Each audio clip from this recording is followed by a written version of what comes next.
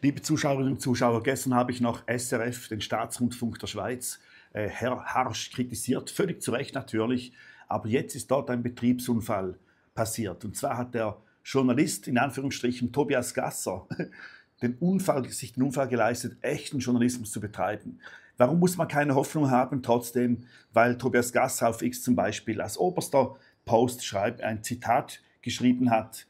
Insofern ist es kein Wunder, dass die geistigen Kinder des Faschismus heute ein grundsätzliches Problem mit öffentlich-rechtlichen Medien haben. Also wer SRF nicht mag, ist ein Nazi.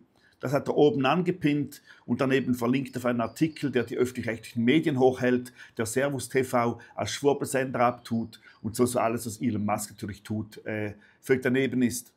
Das gesagt, möchte ich jetzt aber zum eigentlichen Thema kommen und zwar Tobias Gasser in seinem Betriebsunfall eben aus Versehen vielleicht, ich weiß es nicht, Journalismus geleistet. Und zwar hat er äh, recherchiert oder ist, wahrscheinlich wurde es ihm zugespielt, man muss wissen, wenn man in einem, in einem, Schwurbel, äh, in einem wahrhaft Schwurbelkanal arbeitet, in einem wahrhaften Schwurbelkanal arbeitet wie SRF, da sind natürlich dann die, die Wege kurz, insbesondere bei den linksextremen äh, Kanälen wie SRF, die haben durch den andere Linke, die gerne das Verteidigungsdepartement der Schweiz äh, in, in, in Kakao ziehen, äh, damit sie eben dann ihre eigene Agenda vorantreiben können. Also auch da kann man am Ende noch niedere Beweggründe äh, vermuten, aber nichtsdestotrotz ist der Artikel wertvoll, denn da wurde herausgefunden, dass die Armee keine krisensichere Software haben wird bis 2035 und zwar keine krisensichere Logistiksoftware.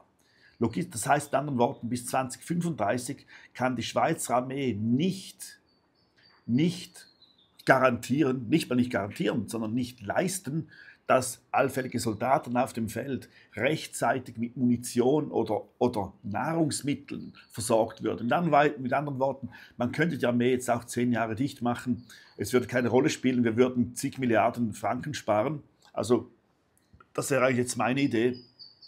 Aber natürlich äh, ist einfach ist vielleicht noch nicht, dafür wird sich keine Mehrheit finden. Die Tatsache ist, dass die, dass die Armee laufend IT-Projekte hat im Umfang von 4,2 Milliarden Franken. Und jetzt wurde also ein, eine Software mit einem unbekannten Preis, weil sich die Täter dieser, dieser, dies, dieses, dieser Geldverschwenderei sich sogar erlauben, auf dem, auf dem, auf dem Mund zu hocken über die, über die angefallenen Kosten. Tatsache ist, es gab offenbar ein achtstufiges, ein achtstufiges Verfahren, wie man Software, in diesem Fall, dieses, diese Software sollte in acht Stufen realisiert werden. Das macht auch Sinn, dass man ein Projekt aufteilt in Unterprojekte, damit man quasi, wie wenn man ein Haus baut, man baut das Fundament, zahlt das Fundament oder man zahlt den ersten Stock und, und so weiter. Dann zahlt man den Maler, dann zahlt man den Scheiner und so weiter.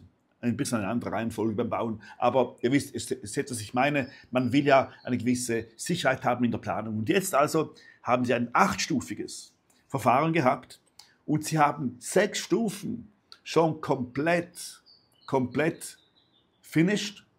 Und dann in der siebten Stufe, irgendwo gegen Schluss, haben sie gemerkt, wir canceln das ganze Projekt. Mit mutmaßlich, das darf man jetzt unterstellen, weil sie auf den Mund hocken, Hunderten von Millionen Franken aufgelaufenen IT-Kosten. Warum haben sie das Projekt gestoppt? Man kann es nicht glauben. Sie haben das Projekt gestoppt, weil die Software nicht unabhängig von einer internationalen Cloud betrieben werden kann. Und es ist naheliegend, dass die Schweizer Armee ja eine Software haben will, die lokal funktioniert.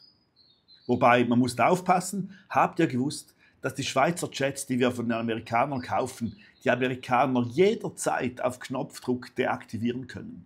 Ja, das ist so. Also ein, ein völliger Wahnsinn, Irrsinn. Das kann man sich eigentlich gar nicht ausdenken.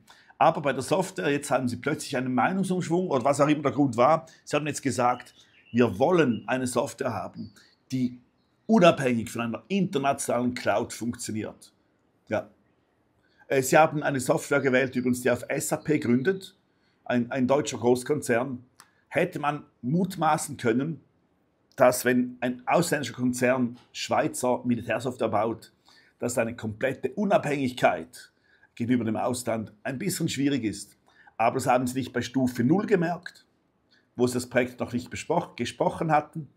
Nicht bei Stufe 1, nicht bei Stufe 2, nicht bei Stufe 3, nicht bei Stufe 4, nicht bei Stufe 5, nicht bei Stufe 6, sondern bei Stufe 7, wo mutmaßlich schon 80, 90 Prozent der Kosten aufgelaufen sind, haben sie plötzlich gedacht, wisst ihr was, wir brauchen eine Lösung, die rein schweizerisch ist und hauen das ganze Projekt in die Tonne. Ja. Wieder bei Null.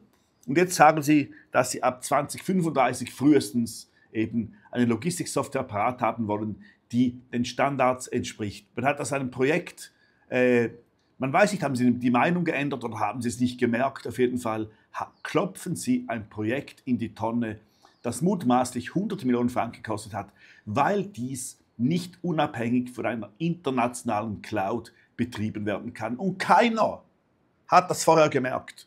Und selbst wenn es jemand vorher gemerkt hätte und es ihnen egal war, wie kommt man auf die Idee, dass man plötzlich Jahre später dann findet, ja, wir brauchen eine unabhängige Lösung. Ist das nicht das Alleroffensichtlichste, dass man eine unabhängige Lösung braucht?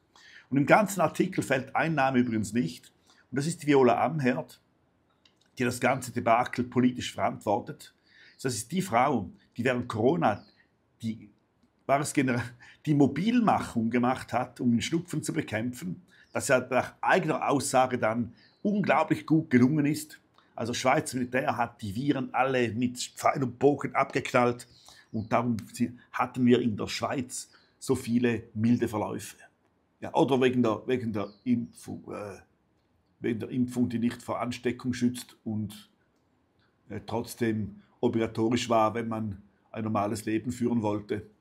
Zum Beispiel im Fitnesscenter sein Immunsystem stärken. Ja, es war eine irre Zeit und so. Aber jetzt also dieser Fall, wir wollen hier nicht sehr ablenken, dieser Fall, diese Einstellung geschah bereits im Juni 23 und geleakt wurde das indirekt, also da gab es interne Dokumente äh, innerhalb des Parlaments äh, und das hat jetzt also dieser Tobias Gasser äh, publik gemacht.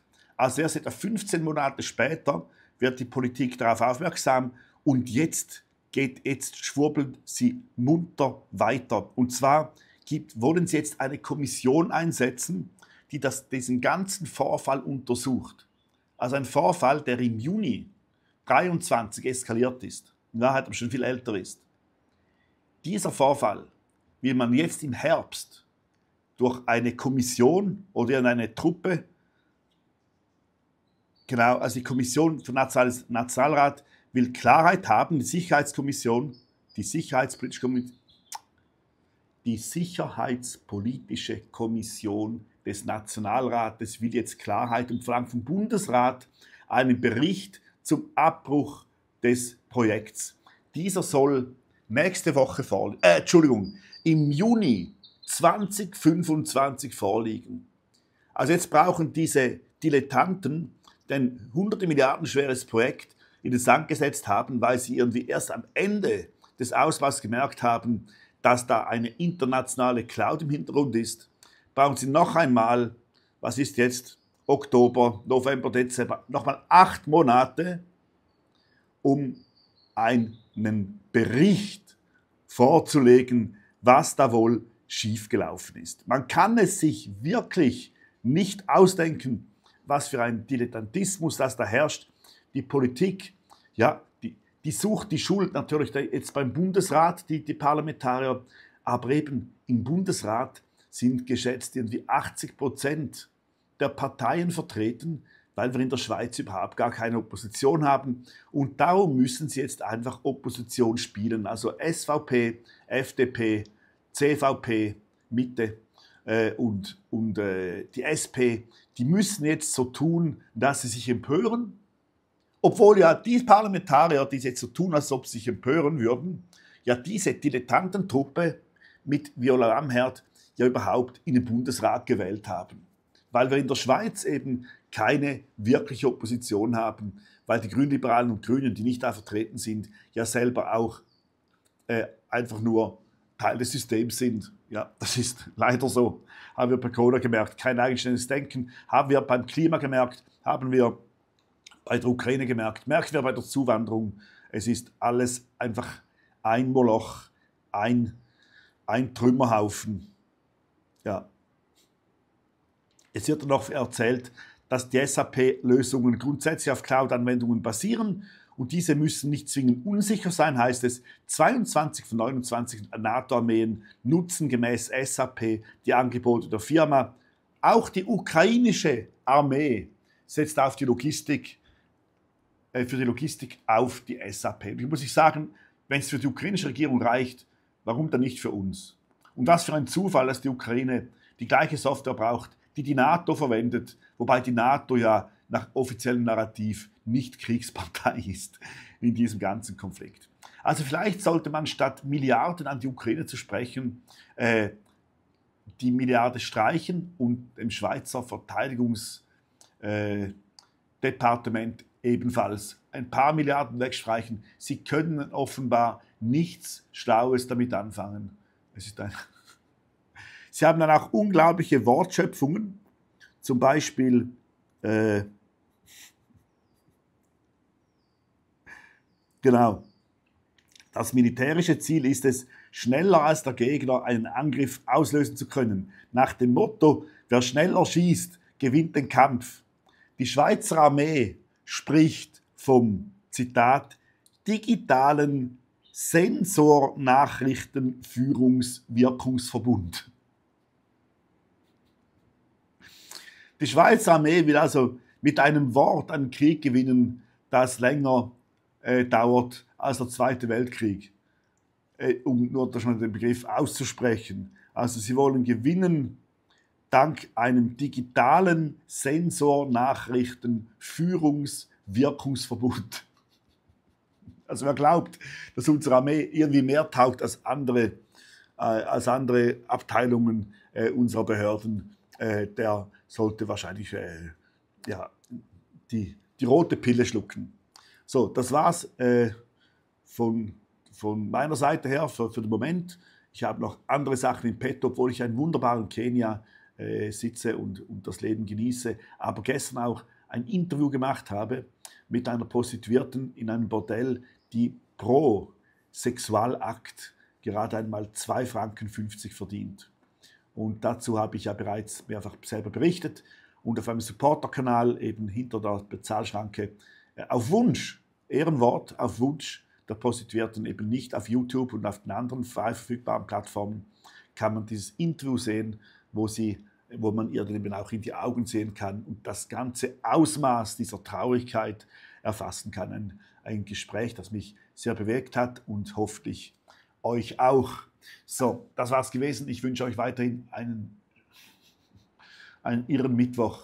Wir haben ja nur noch irre Tage. Tschüss miteinander.